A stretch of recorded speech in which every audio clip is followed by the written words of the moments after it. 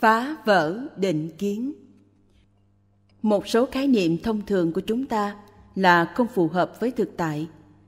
Chúng ta có khuynh hướng nghĩ rằng ta chỉ chết sớm nếu như mắc phải các bệnh ung thư, S hoặc các bệnh hiểm nghèo khác. Và nếu không bị những bệnh nan y như thế, thì chúng ta sẽ được sống lâu. Chúng ta liên kết cái chết với những bệnh tật này và kết quả là không tự mình cảm nhận được mối quan hệ giữa chính ta với cái chết. Điều trước tiên chúng ta phải làm là từ bỏ định kiến rằng ta chỉ chết sớm nếu như mắc phải những bệnh hiểm nghèo. Và nếu không bị bệnh hiểm nghèo thì ta sẽ được sống lâu. Điều này hoàn toàn sai lầm. Có nhiều người khỏe mạnh sẽ chết trong hôm nay. Thật ra, mỗi ngày có nhiều người khỏe mạnh chết đi hơn so với số người bị bệnh tật. Mỗi ngày có hàng trăm ngàn người khỏe mạnh, không hề mắc bệnh ung thư hay S, đã chết vì những tai nạn xe hơi, vì chiến tranh và vì nhiều tình huống khác. Sự thật là những bệnh ung thư S không phải là nguyên nhân duy nhất dẫn đến cái chết. Có quá nhiều cách chết. Quan niệm rằng mình sẽ không thể chết yểu vì không có bệnh hiểm nghèo là sai lầm. Và cũng sai lầm nếu bạn thực sự mắc phải bệnh ung thư hay S và nghĩ rằng mình sẽ chết sớm chỉ vì mắc bệnh, nếu không thì sẽ được sống lâu. Định kiến này sẽ hành hạ bạn bằng cách làm cho bạn âu lo và sợ hãi. Bạn cần phải phá vỡ khái niệm sai lầm này bằng cách nhớ lại rằng ngay cả nếu không bị ung thư hay S, nhiều nguyên nhân khác cũng có thể đưa bạn tới cái chết. Biết được như thế, bạn sẽ có được sự yên tĩnh thanh thản trong tâm. Và nhờ vậy mà việc mắc bệnh ung thư hay S sẽ bớt phần đáng sợ, bớt làm cho bạn hoảng loạn. Một khi thấy rằng có nhiều điều kiện khác cũng có thể gây ra cái chết, bạn sẽ thấy rằng việc mắc bệnh ung thư hay S cũng không có gì là khác thường. Điều đó sẽ không làm cho bạn quá lo âu trong đời sống hàng ngày chúng ta cần nhận thức về sự vô thường và cái chết. Chết là một hiện tượng tự nhiên. Có sinh ra thì sẽ có chết đi. Cũng giống như cây cỏ mọc lên rồi lụi tàn. Việc cố gắng lờ đi sự thật này của cuộc sống chỉ làm phát sinh nhiều cảm xúc tiêu cực, bao gồm cả bệnh trầm cảm. Vì cái chết là một điều mà tất cả chúng ta đều phải trải qua, nên chúng ta cần ý thức về cái chết và chuẩn bị cho nó. Chúng ta phải trừ bỏ khái niệm về sự thường hằng của riêng mình, vốn đang đánh lừa chúng ta. Và hãy mở rộng tâm để chấp nhận ý tưởng rằng, dù có hay không có bệnh nan y thì cũng như nhau, vì cái chết có thể xảy ra cho bất kỳ ai trong chúng ta vào bất cứ lúc nào. Dù có khỏe mạnh hay không thì chúng ta vẫn có thể chết vào bất cứ lúc nào. Việc chấp nhận điều này sẽ ngay lập tức đem lại sự bình an. Vì việc tự mình thoát khỏi khái niệm về sự thường hằng của riêng mình giúp ta được thoải mái, bớt căng thẳng. Sự thay đổi thái độ này là nền tảng của việc điều trị bệnh, vì nó làm giảm bớt lo lắng và sợ hãi.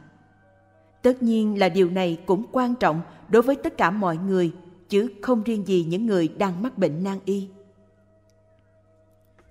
Chúng ta phải chấp nhận rằng cái chết là một thực tế, rằng ta có thể chết bất kỳ lúc nào và có nhiều điều kiện khác ngoài bệnh tật có thể làm cho ta chết sớm. Nhất là khi đầu óc chúng ta tràn ngập sự lo âu sợ hãi hay vướng mắc trong những khao khát không được thỏa mãn. Chúng ta cần nhớ rằng ta có thể chết bất kỳ lúc nào, có thể trong tháng này tuần này hoặc thậm chí là ngay hôm nay. Vì tâm vị kỷ và sự tham đắm đối với cuộc đời này khiến chúng ta phát sinh nhiều ham muốn được sung sướng, giàu có, quyền lực, tiếng tâm và rồi chúng ta phải gánh chịu nỗi lo lắng, sợ hãi khi những ham muốn này không được thỏa mãn.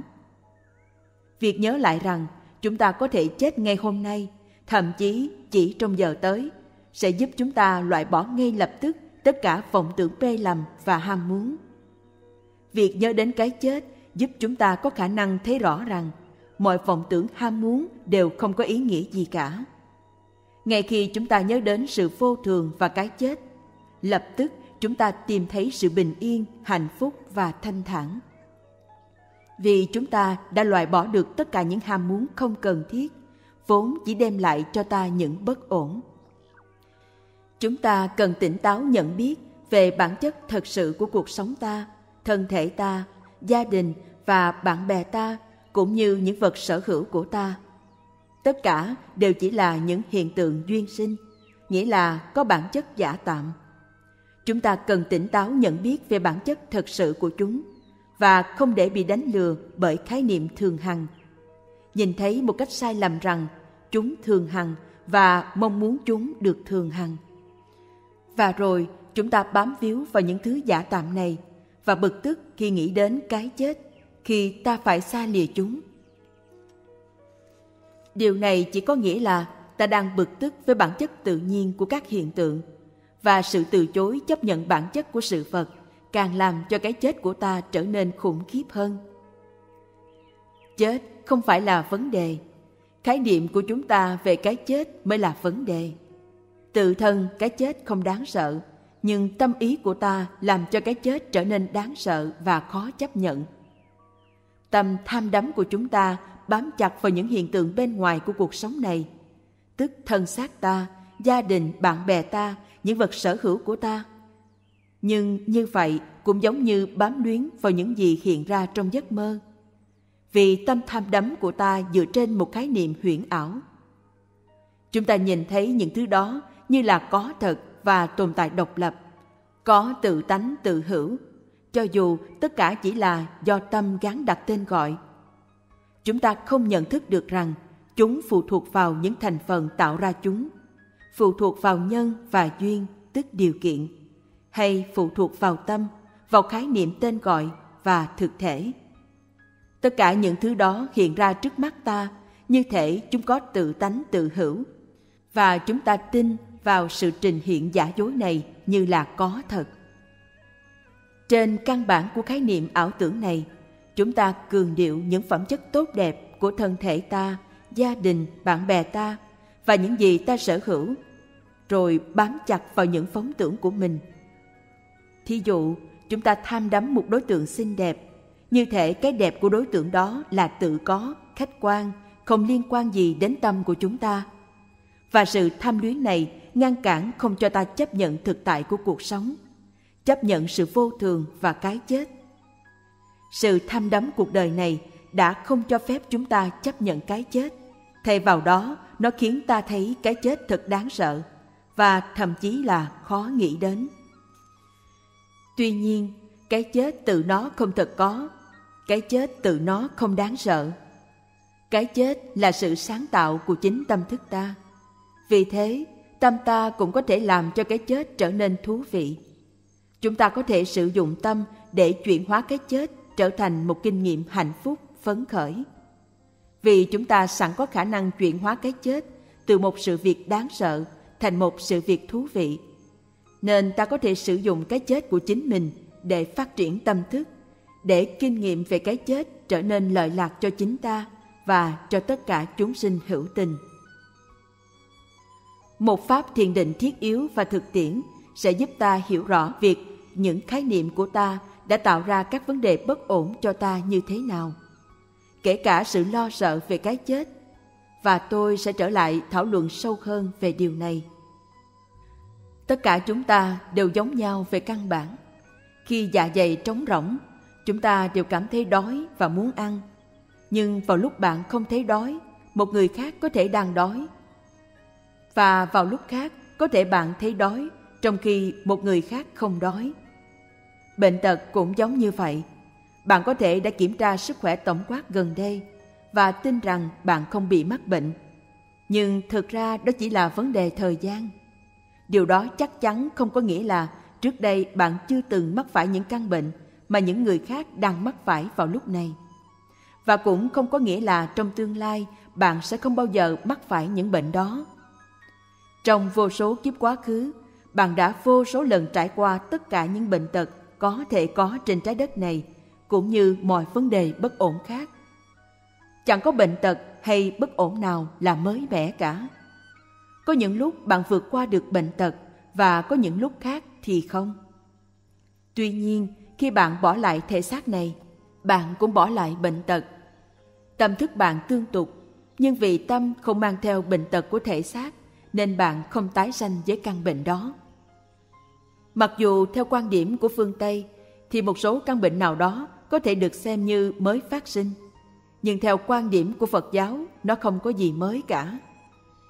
Theo giải thích của Phật giáo về tâm thức và về toàn bộ sự trải nghiệm trong luân hồi, mỗi chúng ta đã trải qua mọi kinh nghiệm trong vô số lần. Điều đó hoàn toàn tự nhiên, giống như mầm cây mọc ra từ hạt giống.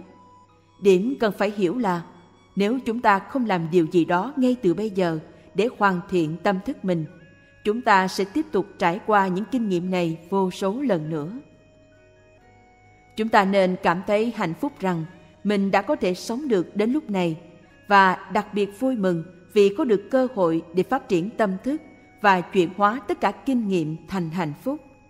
Cho dù chúng ta có mắc phải điều mà các bác sĩ gọi là bệnh tật, chúng ta vẫn còn có cơ hội vô cùng to lớn để làm nên sự tiến bộ tâm linh, phát triển trí tuệ, tâm bi mẫn cùng với những phẩm tính hiền thiện khác.